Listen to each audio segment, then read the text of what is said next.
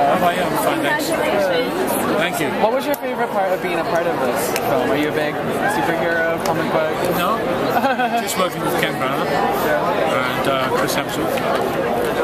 And uh, terrific, terrific. Yeah, that's good. Okay. It's great here. I want to hear about Camera. You've had such a great career. Do you advise the person anyway? You've had such a great career. Do you advise the person anyway? Oh, he doesn't need my advice. The one thing, one of the great assets of him is uh, his modesty, his uh, real gentle, you know, humility. And I think that that's going to boost him into apart from his talent, and he looks great. He's a very nice guy. That, that in my books, uh, counts for a lot, you know. Because you can get people to become completely nuts in this business, he's one of those guys who's got his head on straight. Who- Who's who's going to win American Idol? I'm going to see it on Wednesday. I'm going down Wednesday. Do you have any uh, picks? By any favorites? They're brilliant talents this year. Extraordinary.